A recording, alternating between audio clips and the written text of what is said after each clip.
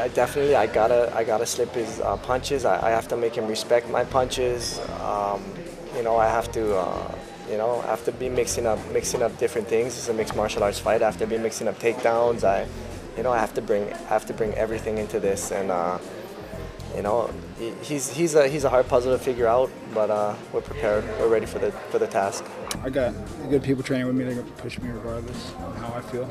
It's more of a discouraging thing than a demotivating feeling. You know, like. Uh, it's just not the fight I would have picked is all, you know. You know, hey, because I don't, I don't try to fight my friends or people I know, or you know. So um, I just do what I'm told, you know. But um, we got a really good uh, coach and a really good team, and um, I didn't get this far by uh, not listening. So. Well, you know, really, it's, it's a lot of mental notes. Like, uh, watch out for his right hand. He's accurate as hell with it. You know, I think he's like second in accuracy amongst UFC guys. Um, you know, and I think that's a I think that's a, a, note to self to be be wary of it. You know, when he gets he's most dangerous when he's getting backed up also. Um, and uh, I have, a ten, I have a, a, tendency to be highly aggressive, uh, especially when I see an opening to go ahead and take it. So you know, just kind of pay attention to it, make sure I know what I'm doing, make sure that uh, I keep it as um, as favorable for me on one side.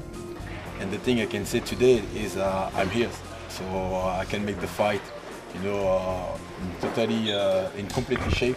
So I think I'm gonna let talking uh, my body. As an athlete, it's always a special fight. Uh, anytime you can fight a legend, and just to say you can fight the best in the world, um, that's the one thing that you always take the opportunities for go, hey, I fought the best in the world. That's one thing as an athlete, as myself, as being a competitor it's always a one versus some like I know other fighters where it's just like, hey, I just need to get a W. I don't care who I fight. Uh, I don't care if he actually sucks. I just want to win, you know, W.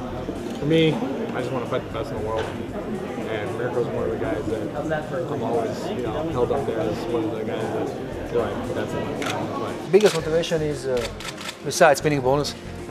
that's a good no, one. I'm joking. I'm joking. I lost two fights in a row, and I just I would hate that if it happens that I lost the fight, I would be unhappiest man on the planet. Believe me. After so many trainings, traveling, uh, fights, you know, to lose to lose three times in a row, it will be a disaster for me. But I will survive. Even that, even if it happened, I will survive. I have two kids. I have to live for them, you know. But uh, it will be this disaster. That's why I train really hard, and I will do my best to beat him. Really. Craziest stoppages I have ever seen.